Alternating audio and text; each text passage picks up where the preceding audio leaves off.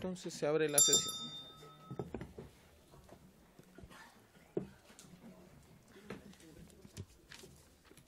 Las actas de las sesiones 47 y 48 ABA especiales se ponen a disposición de los señores y señoras diputadas. Eh, la señora secretaria dará lectura a la cuenta. Gracias, presidente. Se han recibido los siguientes documentos para la cuenta. Oficio del ministro de Agricultura en respuesta a la solicitud de esta comisión sobre el cumplimiento del artículo 11 de la Convención sobre los Derechos de las Personas con Discapacidad en cuanto a adoptar todas las medidas necesarias para garantizar en situaciones de riesgo la seguridad y la protección de las personas con discapacidad. Oficio de la ministra de Desarrollo Social y Familia, subrogante, señora Alejandra Candia, mediante el cual remite el informe de desarrollo social correspondiente al año 2019 en el cual hace un análisis de la pobreza tanto por ingresos como multidimensional, profundizando en las carencias que enfrentan las familias. Oficio del subsecretario de Justicia, en respuesta a la solicitud de esta comisión, en orden a informar sobre el cumplimiento del artículo 11 de la Convención sobre los Derechos de las Personas con Discapacidad en cuanto a adoptar todas las medidas necesarias para garantizar en situaciones de riesgo la seguridad y protección de las personas con discapacidad. Correo electrónico del diputado Gabriel Boric, por el cual solicita invitar a exponer en relación con el proyecto de ley que crea el Estatuto Integral contra la Violencia en Niños, Niñas y Adolescentes a las siguientes autoridades y expertos. Subsecretaria de la Niñez, Defensora de la Niñez, doctor Isaac, Rabelat, María Esther Valenzuela, Fabiola Latrop. Nota del jefe de bancada de Renovación Nacional por el cual comunica el reemplazo en la sesión de hoy del diputado Lonton por el diputado Romero. Es toda la cuenta, presidente. Eh, ofrezco la palabra entonces sobre la cuenta. ¿Nadie? Varios, entonces. Ofrezco la palabra sobre varios. Diputada eh, Catalina.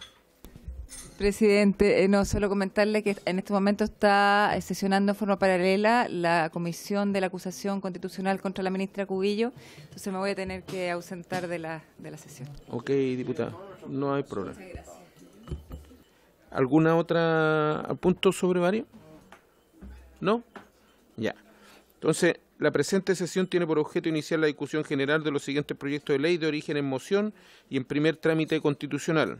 De los diputados, el primero de los diputados y diputadas Sandra Amar, Gabriel Boric, Marcelo Díaz, Diego Ibáñez, Carolina Marzana, Erika Olivera, Catalina Pérez, Marcela Sabat, Gonzalo Inter y Gael Yoman, que crea un estatuto integral contra la violencia en niños, niñas y adolescentes del boletín 12.416-31 y en la otra moción de los diputados y diputadas Natalia Castillo, Andrés Lonton, Miguel Mellado, Francesca Muñoz, Erika Olivera, Jimena Sandón y Luis Rocaful, que modifica el Código Penal el Código Procesal Penal y la Ley 20.066 sobre violencia intrafamiliar para prevenir y sancionar penalmente el abuso patrimonial contra adultos mayores y personas con discapacidad, del Boletín 12.759-07. Eh, entonces, habíamos quedado habíamos acordado de invitar a, a, los mocionantes para que nos explicaran el proyecto. Entonces vamos a partir con el diputado Gabriel Boris, que, no sé si el autor o uno de los autores de la primera moción. Tiene la palabra, diputado. Muchas gracias, Boris. Sí, eh, efectivamente soy el, autor y de, este proyecto que busca establecer un estatuto integral contra la violencia hacia niños, niñas y adolescentes en todas sus formas. Este es un proyecto eh, que mm, nació a partir del trabajo que desarrollamos en, la, en el Acuerdo Nacional por la Infancia, eh, en donde diferentes organizaciones de la sociedad civil nos plantearon la preocupación respecto de lo naturalizada que está la violencia contra niños, niñas y adolescentes y un dato muy preocupante, que es que según la encuesta de la UNICEF realizada el año 2012, el 71% de los niños, niñas y adolescentes en Chile declaran haber sido víctimas de algún tipo de violencia. En, en, el tipo de sociedad que, hemos tenido en Chile durante tanto tiempo, esta situación se ha normalizado y naturalizado en muchos aspectos y hay diferentes espacios de la vida cotidiana en donde esta violencia se hace presente. Lo que nosotros buscamos con este proyecto, que además tiene la gracia de ser un proyecto transversal, por eso invitamos a parlamentarios de diferentes sensibilidades políticas, de, eh, de prácticamente todo el espectro político a firmarlo, es justamente el poder definir qué es la violencia contra niños, niñas y adolescentes. El proyecto propone una definición muy específica. Y además, em, la idea es poder coordinar a las diferentes autoridades involucradas en la protección y prevención de la violencia contra niños, niñas y adolescentes a desarrollar una política nacional que, en conjunto con la participación de la sociedad civil, pueda establecer cuál es la planificación que debe tener el Estado para poder cumplir con las normativas internacionales a las que nuestro mismo Estado se ha obligado. Eh, nosotros proponemos un año de, o sea, perdón, un plazo de dos años para establecer una política nacional que operativice los principios que se establecen en este proyecto de ley.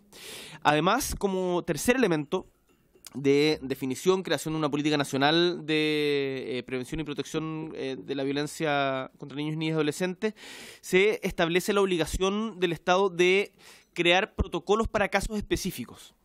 Esto es importante porque muchas veces eh, autoridades o funcionarios públicos de diferentes reparticiones no tienen una manera o no, no están preparados para abordar diversas situaciones. Eh, voy a poner el ejemplo quizás más, eh, o, que a, algunos de nosotros nos, ha tocado vivir, el caso de las fuerzas especiales, eh, en donde el, la, la represión que se realiza no se ajusta a prácticamente ningún principio que defiende, a los principios que defienden la no violencia contra niños, niñas y adolescentes. Entonces nosotros proponemos un total de siete protocolos, eh, la creación de siete protocolos para diferentes áreas. Uno, la prevención de violencia sanitaria obstétrica en los servicios eh, dependientes del Ministerio de Salud. Dos, la detección y un protocolo para la detección y, denuncia de la violencia infantil en los Ministerios de Salud, Interior, Desarrollo Social, Defensa y Justicia.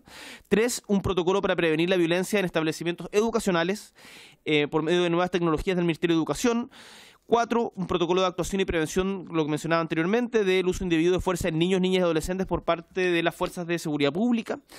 Eh, cinco, un protocolo para las Fuerzas Armadas para el trato de niñas, niñas y adolescentes en situaciones de emergencia.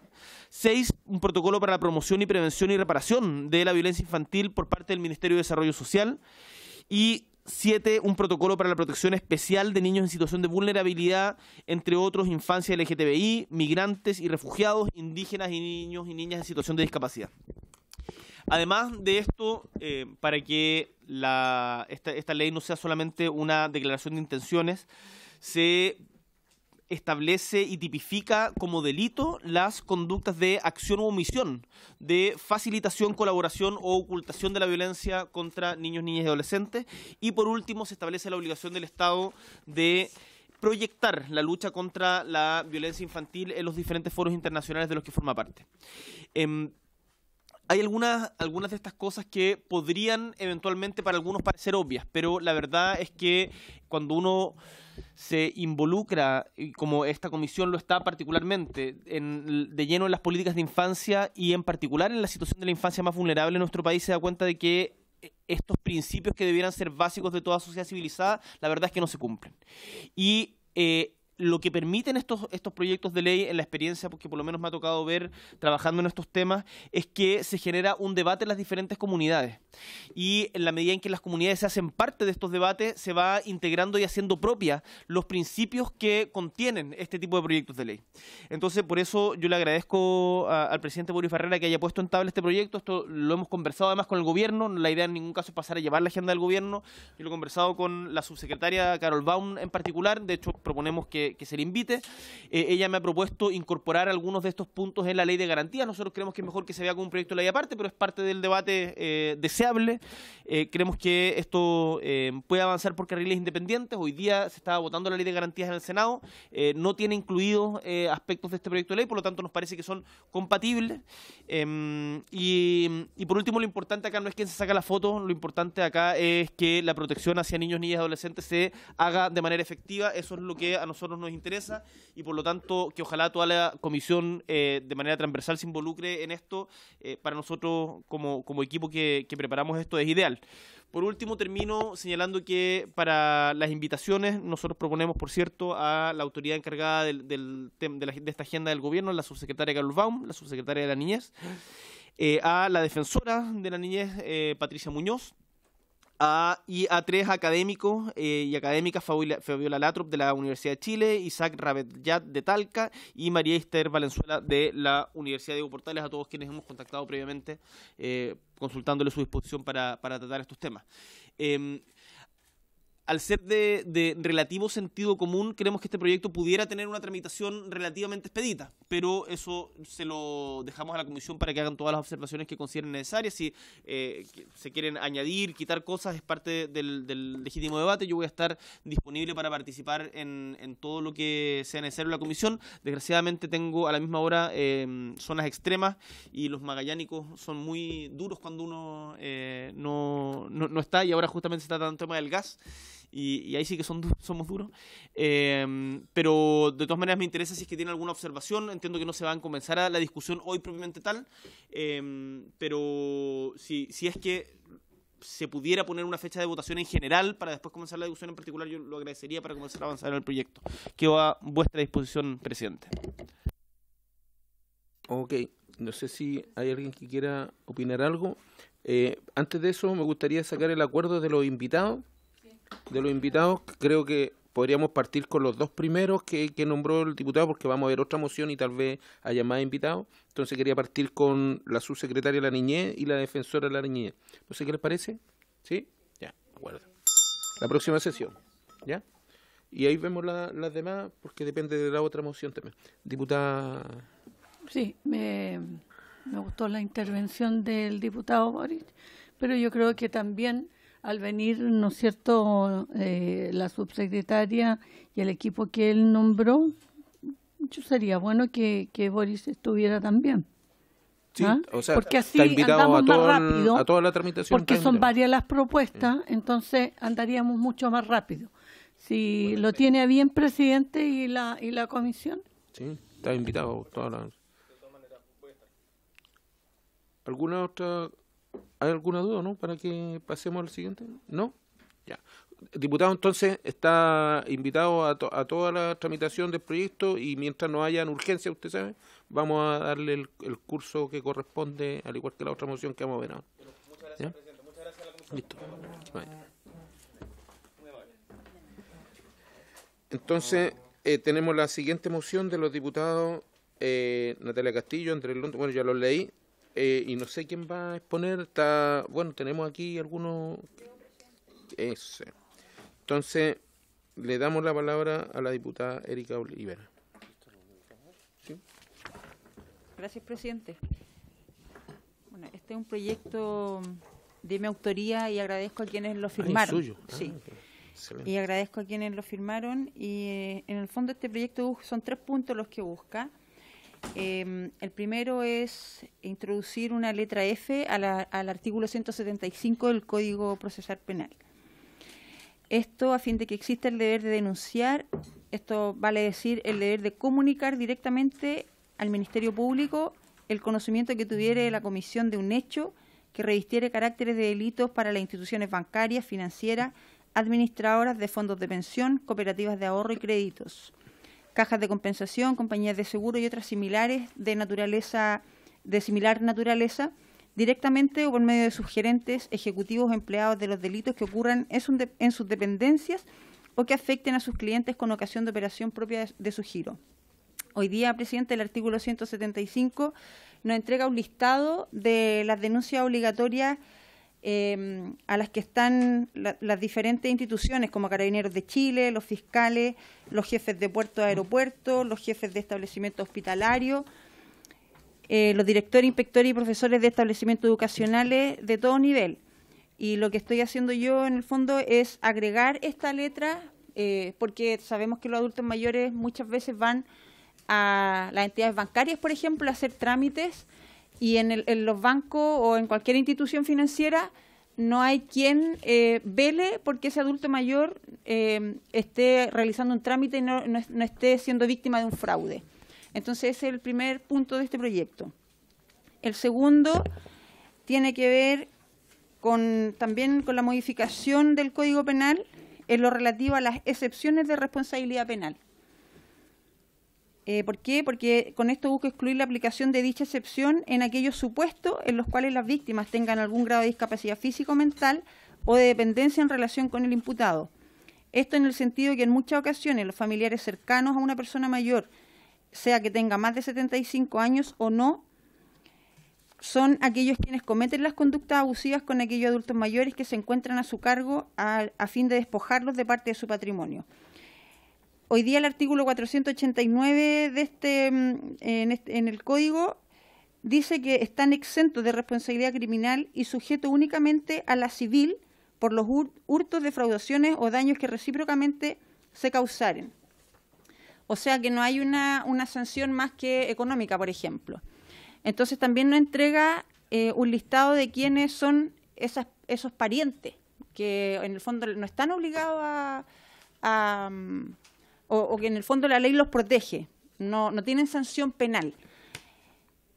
Eh, habla de los parientes consanguíneos, de los parientes hasta segundo grado, los parientes afines en toda la línea recta, los cónyuges, los convivientes civiles. Entonces, lo que busco también con este, en este punto es que hoy día esas personas eh, que son parientes, que son eh, parientes consanguíneos del, del adulto mayor, tengan también esa, esa mm, sanción, porque hoy día no la tienen, o sea, se les cobra una multa y con eso están libres de polvo y paja, por, llamarlo de alguna manera. Entonces, eh, ¿qué es lo que, que, se busca también aquí? Que las personas que son, por ejemplo, mayores de 75 años, eh, también estén bajo este, este, este resguardo, porque finalmente no, no, no, no están protegidos. Entonces, es una contracepción, porque es una excepción en la norma, o sea, dice los parientes consanguíneos de primero, de cuarto, de segundo grado, no están eh, sujetos a, la, penalidad. Eh, sin embargo, hoy día lo que hago es una contracepción a esa norma. Y el, el tercer punto es incluir en la ley 20.066, en la ley 20.066 eh, habla sobre la violencia intrafamiliar, eh, pero no está, eh, no habla de la, la, definición de abuso patrimonial o económico hacia los adultos mayores.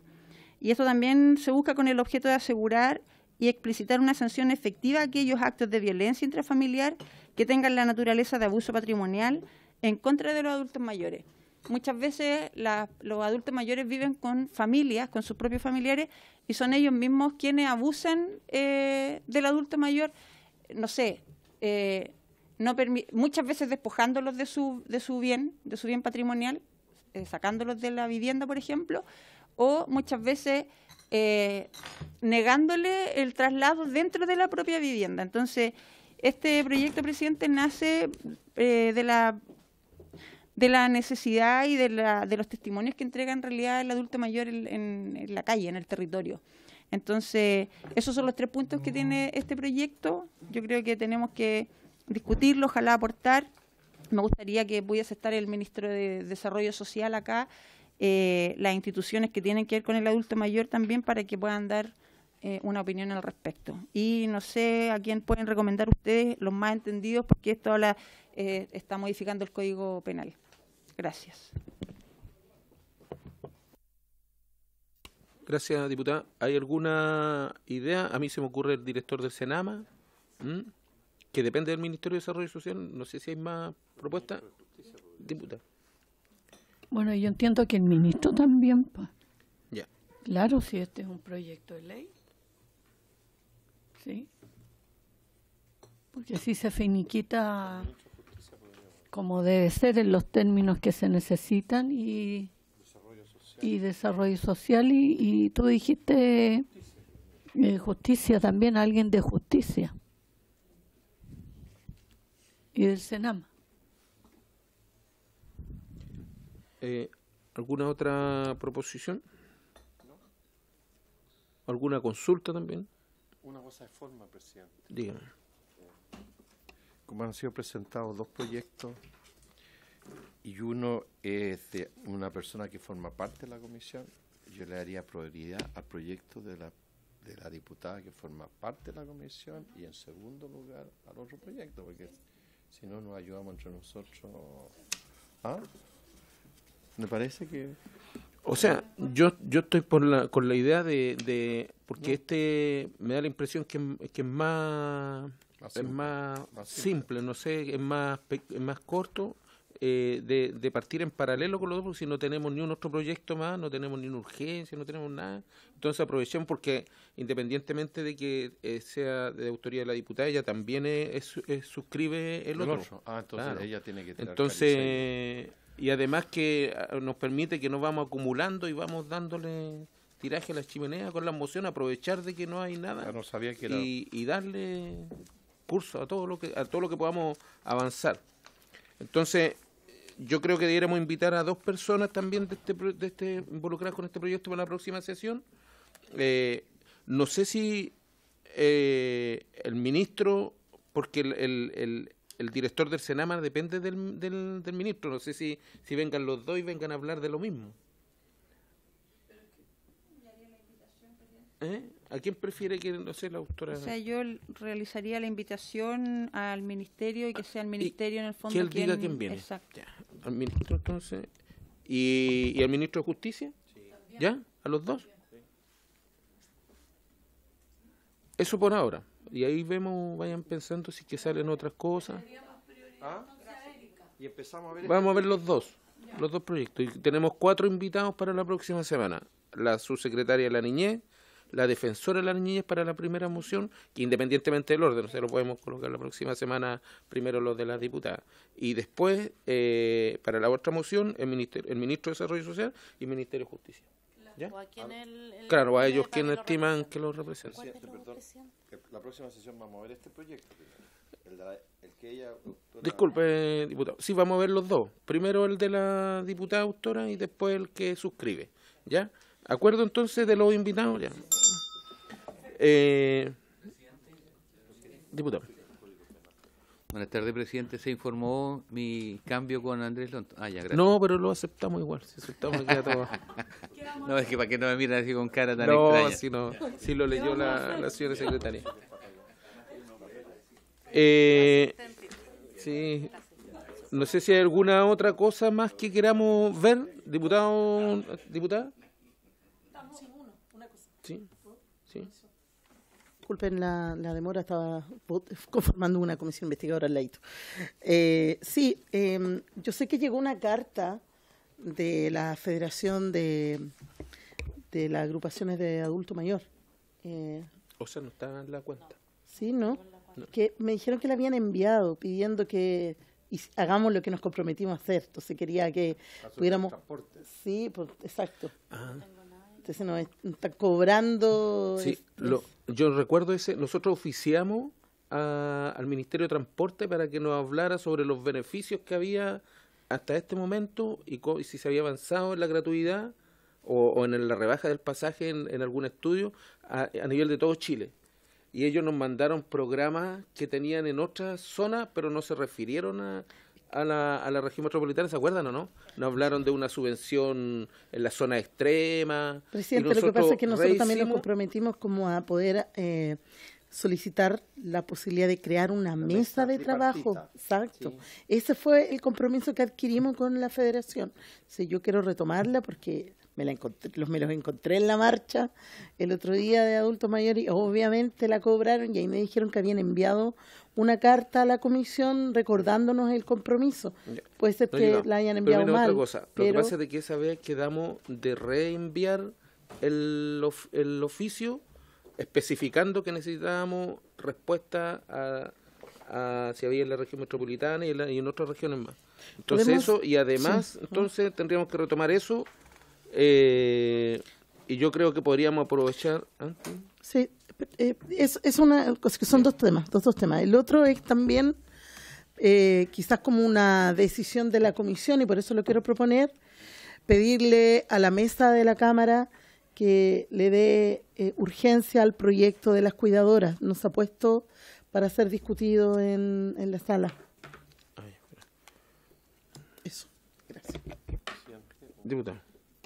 Sobre el último tema, eh, yo he hablado varias veces con el secretario de la Cámara para que sea considerado el proyecto. Dijo que está, está, eh, está en prioridad. No sé, no sé, no sé en qué año, no sé en qué año, en qué periodo legislativo, pero digo que está en prioridad. Y sobre lo segundo, presidente, yo si no me traiciona mi memoria, tengo entendido que el ministro nuevo, Sichel, planteó que habían constituido, parece, una mesa de trabajo, ellos sobre la cosa del transporte. o- y si no es así, yo haría lo siguiente, presidente, es una sugerencia. Como esta es una mesa tripartita, donde nos comprometimos como comisión, ministerio y esta organización, que nosotros podríamos nombrar a dos diputados o diputadas para que nos representaran en esa comisión tripartita y empezaran esos diputados a solicitarle al Ministerio de Desarrollo Social que ellos también pongan a un interlocutor y que comience a trabajar esta mesa. Porque más que integrar a toda la comisión, seamos más ágiles y más operativos. Pero Entonces, esa, esa propuesta era para el tema de la reducción del pasaje, ¿cierto? Sí, Sí, sí, eso es para el eso. Ministerio de Transporte, ¿no? También, por eso era, era no, pero era con desarrollo social. Sí. Era nomás, no Pero está. también con. Sí, Están hablando de cuando vino la, La Unión federación. Comun- la Federación de Adultos Mayores, era justamente el tema del transporte. Y eh, mencionaban de que eh, se iban a reunir con desarrollo social. Sí. De eso, sí, con desarrollo social. Y si es de transporte, indudablemente que debe- también debería estar el ministerio. Mire, les propongo lo siguiente entonces. La próxima semana está citado el ministro de Desarrollo Social para que se lo comentemos y le pedimos a la Secretaría que, no, que, que, que busque para atrás cuál fue el acuerdo para que hagamos un plan de trabajo para implementar ese acuerdo. Me parece súper buena la idea del diputado que nombramos a alguien de la comisión encargado de, de, de gestionar en, en el fondo esa, esa mesa que es lo que necesitamos. ¿Les parece? ¿De acuerdo? Ya. Ya, Y, y el acuerdo de solicitar a la mesa que ponga como comisión un acuerdo. Unánime. ¿sí? Ah, sí. Eh, Sobre eso, no sé si se puede mandar una, carta, un oficio a la... Exactamente para poner en tabla de los cuidadores. ¿Ya? Y entonces, ah, y lo otro, eh, de, de reenviar el, el oficio que habíamos enviado una vez al, al Ministerio de, de Transporte sobre el avance o el estudio sobre la reducción del pasaje en la región metropolitana. ¿Se acuerdan? Lo que pasa es de que nos mandaron de todo el resto del país, pues, pero no de la región metropolitana. A Santiago lo dejaron de lado. Claro. ¿Les parece? Y ahí, ¿Sí? donde, y ahí donde únicamente tienen beneficio, porque ¿Estamos? las regiones no tienen ni uno. Ya. Ya. Son la región metropolitana. ¿Algo más, diputado o diputada? ¿No? Ya. Por haberse cumplido entonces el objeto de la sesión, esta se levanta.